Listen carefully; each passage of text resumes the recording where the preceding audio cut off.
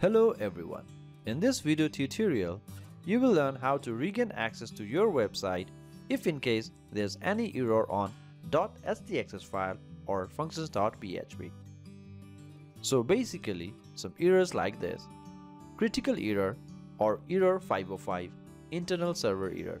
These are normally caused by some mistake codes on .htaccess file or functions.php. For more contents like this, please subscribe to our channel and press the bell icon. Let's get started by opening the browser and going to the dashboard that is wp-admin. Enter your username and password. In the earlier tutorial, we added add expire headers code via WP File Manager. Let's go to WP File Manager. This is the .htaccess file where we added the code for add expire headers. Right click and edit code editor. Let's suppose we made a mistake here while adding the add expire headers code. Assume we forgot to copy this bracket. So if we save this and try to open our website, we will receive internal server error. Now since we already have made a mistake, we cannot even log back to our dashboard. Like if I go to the dashboard, there's an error. I cannot revert back and save this as well. So basically, I lose control of the website. In order to get back to the site, we need to access the files either via cPanel or FTP. So let's go to our cPanel, enter your username and password and log in. After logging to your cPanel, go to File Manager and then locate where your website files are. Usually under public underscore HTML or it could also be outside somewhere. Find it. So this is all of our website files. .htaccess files is not visible here. So go to settings and click on show hidden files. So .htaccess file is here. Right click and edit. Click on edit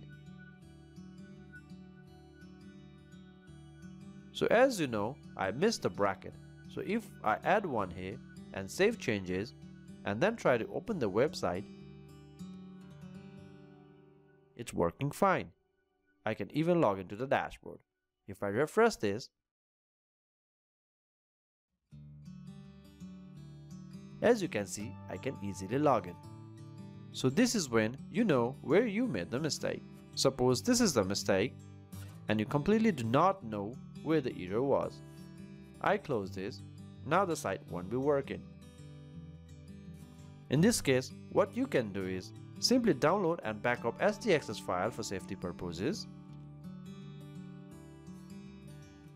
and rename it to like .htaccess1. After doing this, what happens is the website will automatically create another .htaccess file. However, all codes will be gone. If I open the site, it's working all good. You can log into your dashboard or WP File Manager, etc.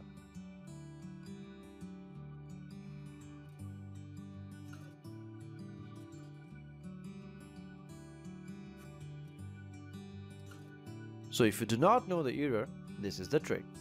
New htaccess file will be created after some time.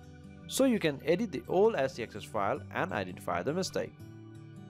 So this info are already normally there. Remember this opening and this closing. These are normally there. These are the codes we added for expire headers. If you are not sure where the error was, simply open the expire headers code, copy them and replace them. What you need to make sure is this is open and this is closed. Likewise, this is open this is closed, opened and closed. Save changes. I will just rename it to .htaccess and try to open the website. And it's working. Normally after renaming or deleting .htaccess file, the website will create another one after some time. So this might replace the one and overwrite all the codes if you added new htaccess file immediately. so double check and later make the changes with the backup if required. The other case could be error in functions.php. If I go to appearance and theme editor and functions.php, if I made a mistake here, normally functions.php will not take wrong codes. However, in some circumstances, let's go to functions.php via file manager. wp-content themes and it could be either parent theme or child theme depending what you are using. Open parent theme and here you can see functions.php. So if I edit this and find the mistaken code and save it, the website will work. But if you are not sure what mistake it is, first backup by downloading it and replace it by your themes function.php. Let me make a mistake here, open it first. And then add a wrong code. And save changes. Then open the website. Here's the error the site won't work because of this critical error. For this example you know where the mistake is so you can rectify it as we exactly know it. But sometimes we may not know the mistake. Let me close this. Keep a copy of function.php file. Always have a backup before doing anything. Now whatever theme you are using, in my case, this is a theme I am using. If I scroll down, here is my themes function.php. I will drag it to the desktop. So this is my themes default function.php. Rename the old function.php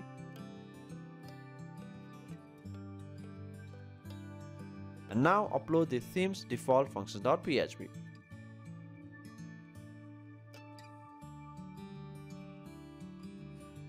And then go back to my website and refresh it. It's working fine. And now what you need to do is compare the old function.php with the themes default and add codes added by your designer from the old to new one. You can also edit it And if there are any wrong codes, for instance, if I have this, look for the syntax error and then make a corrections as required. So this is how you can gain access to the website for errors while copying add expires or defer parsing for JS codes. I hope this was a good lesson for you. Thank you very much.